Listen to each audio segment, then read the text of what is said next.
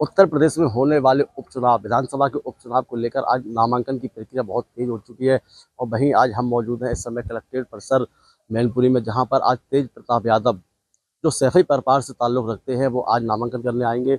आपको साथ ही ये भी बताते चले कि शिवपाल यादव, रामगोपाल यादव डिम्पल यादव के साथ कई बड़े नेता यहाँ पर पहुँचेंगे और सबसे बड़ी बात, सबसे बड़ी बात यह है कि अखिलेश यादव जो राष्ट्रीय अध्यक्ष है समाजवादी पार्टी के, वो भी नामांकन के प्रोग्राम में पहुँचेंगे।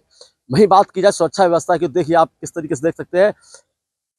भारी पुलिस फोर्स का व्यवस्था की गई है, लोग को आने जाने वालों को चेकिंग की जा रही है और काफ़ी बैरिगेट लगाए गए हैं यहाँ पर और सुरक्षा व्यवस्था को चाक चौबंद रखते हुए उन्होंने जो है कि पूरा प्रशासन अलर्ट मोड पे कर रखा है। अखिलेश यादव राष्ट्रीय अध्यक्ष है समाजवादी पार्टी के। वो आज नामांकन करवाने पहुँचेंगे तेज प्रताप यादव का। और आइए हम थोड़ा आगे ले चलते हैं आपको।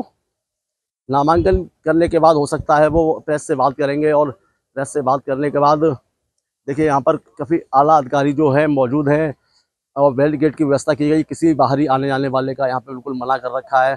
कोई भी लोग यहाँ पर नहीं आ सकते हैं। बिना जाँच पड़ताल के लोगों का आना बिल्कुल मना कर रखा है। कैमरामैन के साथ ब्रह्मेश कुमार डायनामाइट न्यूज़ मैनपुरी।